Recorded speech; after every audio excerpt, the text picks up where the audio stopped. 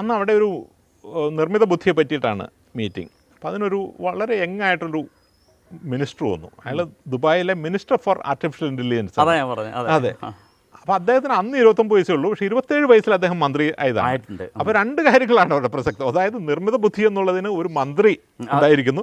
രണ്ട് ഇത്ര യങ് ആയിട്ടുള്ള ഒരാളാണ് അതിനെ മന്ത്രിയായിട്ട് വെച്ചിരിക്കുന്നത്. അപ്പോൾ അവർ ചെയ്തത് ദുബായിലെ എല്ലാ ഗവൺമെന്റ് ഡിപ്പാർട്ട്മെന്റുകളിലും വളരെ സീനിയർ ആയിട്ടുള്ള ഒരാളെ നിർമ്മിത ബുദ്ധിയുടെ ഫോക്കൽ പോയിന്റ് ആയിട്ട് നിയമിച്ചു. ആ ഡിപ്പാർട്ട്മെന്റിൽ ഡോക്ടർ ആണെങ്കിൽ you know artificial intelligence and health transport ആണെങ്കിൽ A I and transport A and culture A and arts അങ്ങനെ ഈ നയന്റി ടു ആളുകളെ അവർ സെലക്ട് ചെയ്തതിന് ശേഷം ഇവർക്കെല്ലാം ഒരു വർഷം എങ്ങനെയാണ് നിർമ്മിത ബുദ്ധി ആ സെക്ടറിൽ ഇമ്പാക്റ്റ് ചെയ്യുന്നത് എന്നുള്ളതിനെ പറ്റി മാത്രം ഒരു ട്രെയിനിങ് കോഴ്സ് ഓക്സ്ഫോർഡ് യൂണിവേഴ്സിറ്റി അവർ ഡിസൈൻ ചെയ്തു. എന്നിട്ട് ഈ ആളുകൾ മുഴുവൻ ഓക്സ്ഫോർഡ് യൂണിവേഴ്സിറ്റിയിലേക്ക് അയച്ചു. അവിടെ അവർ പഠിക്കുകയാണ് എങ്ങനെയാണ് നിർമ്മിത ബുദ്ധി ഇതിനെ ബാധിക്കുന്നത്. അവർ എന്നിട്ട് തിരിച്ചു